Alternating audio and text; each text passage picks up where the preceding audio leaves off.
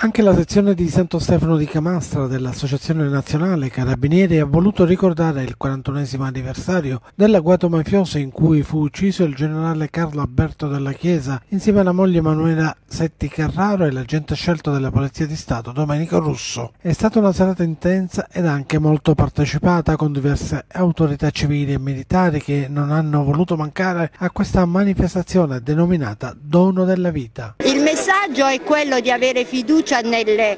nelle istituzioni e eh, questa sera lo stiamo dimostrando, anche se un solo bambino dovesse per esempio chiedere ai suoi genitori chi era il generale dalla Chiesa il prefetto dalla Chiesa, abbiamo ottenuto l'obiettivo di trasmettere alle future generazioni un messaggio sia naturalmente di legalità ma anche di conoscenza dei grandi eroi. Il via lo si è avuto con la celebrazione della Santa Messa celebrata dal reverendo padre Calogero Calanni, arciprete della parrocchia San Nicolo di Bari di Santo Stefano di Camastra, alla presenza delle massime autorità cittadine, civili e militari. Subito dopo la funzione religiosa il corteo ha raggiunto Piazza Belvedere, dove è stata deposta una corona di alloro in onore dei caduti militari e civili nelle missioni di pace. Successivamente si è inaugurata all'interno di Villa Italia la mostra Virgo Fidelis, un progetto dell'Associazione Nazionale Carabinieri con la compartecipazione della Legione Carabinieri Sicilia realizzato dagli allievi dell'Accademia di Belle Arti di Palermo. Una serata emozionante che serve a tenere vivo il ricordo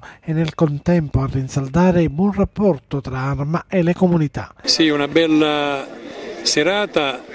per stare insieme, istituzioni, cittadinanza e, e, sindaci, ci sono i sindaci non solo di Santo Stefano di Camastra ma di tutto il circondario a significare questa forte coesione fra l'arma dei carabinieri attraverso le stazioni e i singoli comuni. Oggi è una giornata di, di, memoria, abbiamo ricordato il nostro generale, il prefetto Calaberto della Chiesa e con lui vogliamo ricordare tutti i caduti per, per il contrasto a ogni forma di illegalità e di crimine organizzato.